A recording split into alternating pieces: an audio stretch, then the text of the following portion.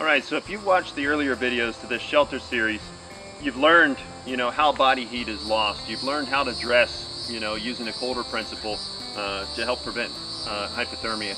You've learned uh, a sleeping bag system, a sleeping system that you can use uh, to also help stave off uh, hypothermia and, and, maintain your, your body core temperature. You've also learned the four W's of site selection, so you know that you have a good location. So what I want to teach you in this video is an adaptation of the five minute shelter system. The five minute shelter system was developed by Dave Canterbury at the Pathfinder School. We still teach it there, still teach it in my own school. Uh, it's just that good of a shelter system. The key to it is how fast you can put it up. And I'm going to show you some of the some of the, the ways that you can set yourself up for success that makes this go up quickly so that if you see a storm coming in or you're borderline hypothermic and need to get a shelter up quickly so that you can move on to other priorities, um, you can do that quickly. So I'm going to show you the different configurations that this can go to very quickly uh, and uh, and yeah that way you you know basically everything there is to know about your your quote-unquote modern type shelters that you can prepare for. Then from there, preparedness first, and then be prepared to find yourself completely unprepared.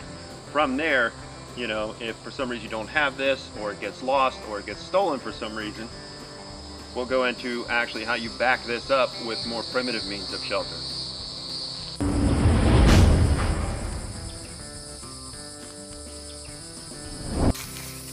Now that I've got my ridge line established, this loop is going to become one corner of my actual poncho shelter. And there's, there's basically uh, three different configurations that I want to show you that you can set these up in. And I'll talk about, you know, reasons that I use those particular configurations. But I've got my first corner established. My poncho has grommets in it.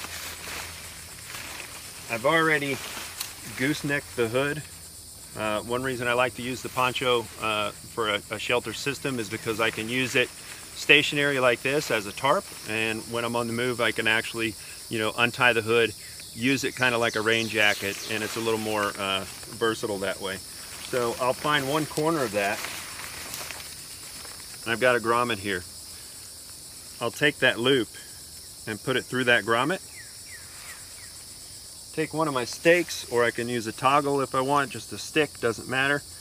And I'll pull on that end until that's tight. All right, so that basically established the beginning of my shelter.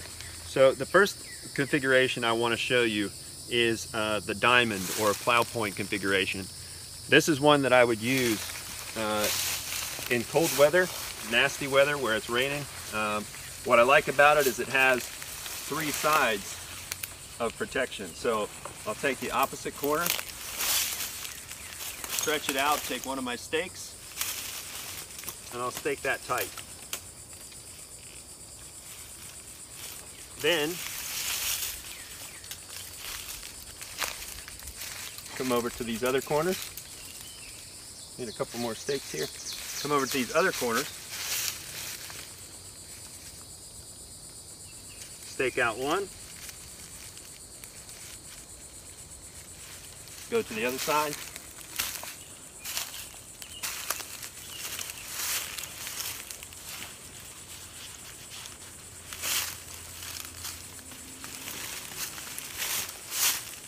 And stake out the other.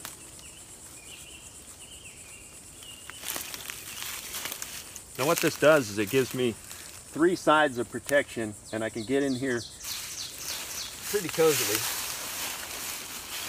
And I would have my fire right out here. So I would like to use a shelter like this. A diamond slash plow point shelter is what I would use in super cold weather where I need a lot of protection from the wind um, and I need to trap as much body heat as possible. There's not as much uh, convective breeze that can get through here. So this is a great cold weather shelter. This is how I would do it. Uh, you could even put a prop stick up in here to give you a little more room.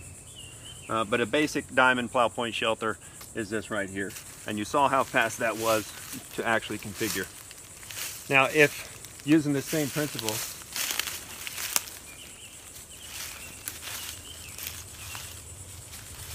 still got my corner staked off. Got it. All right, so same same principle, same corner stake. If it was uh, a uh, a little bit better weather, we'll say. Let switch these corners.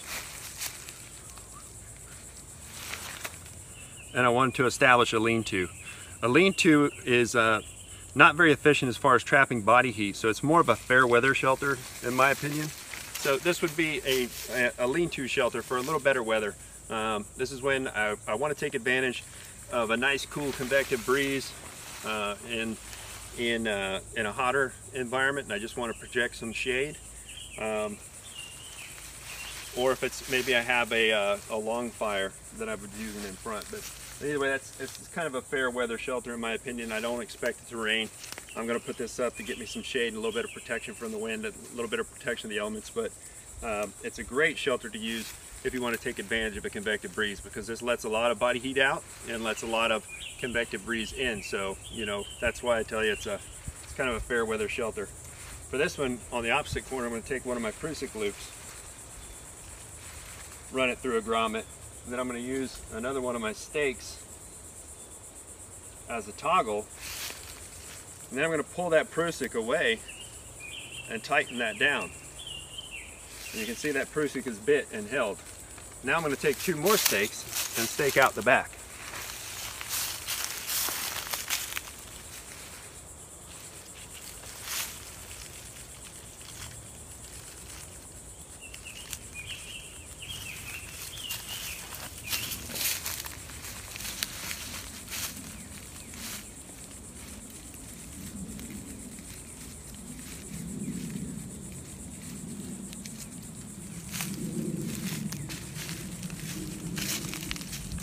Now I've established a quick lean-to shelter that's going to give me some give me some shade, but it's going to let a lot of uh, convective breeze in and help keep me uh, help keep me from overheating. So this is a good fair weather shelter uh, whenever you, you don't expect it to rain.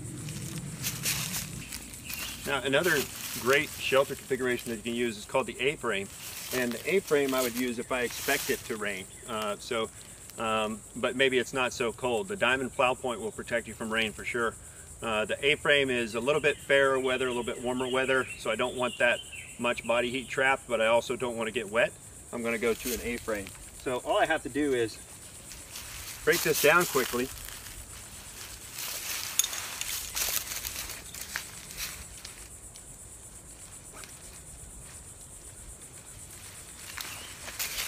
then rather than going off of one of the corners here, I'm going to switch to the center grommet of the poncho.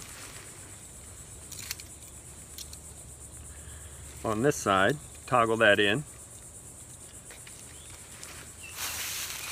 Same thing on this one. Using my Prusik loop through the center toggle. But I want to go up and over. Use my Prusik loop through the center toggle, or I'm sorry, toggle that off through the center grommet, pull that tight. Then I'll pull off the back side, take that off. And this is a good reason to have paracord or bank line already tied off onto your poncho grommets, is in case you want to configure it this way.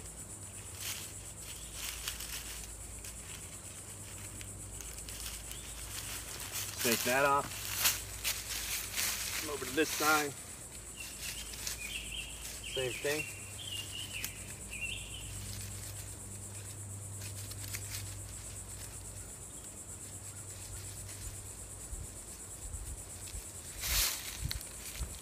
And on to the front side.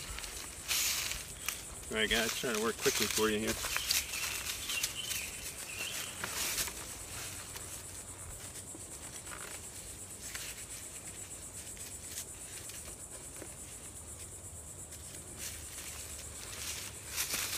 And the last corner.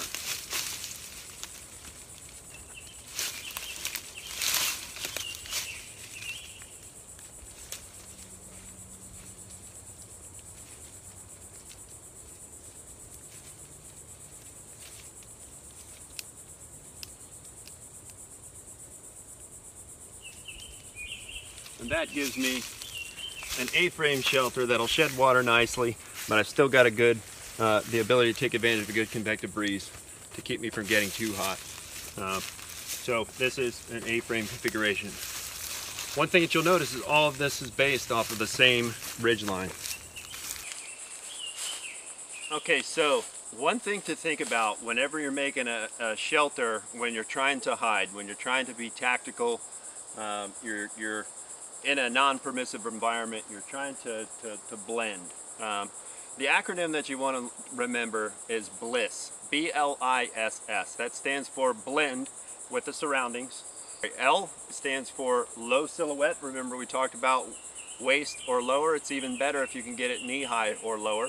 Uh, but here, you know, I've got a lot of, of underbrush that kind of keeps me pretty well hidden.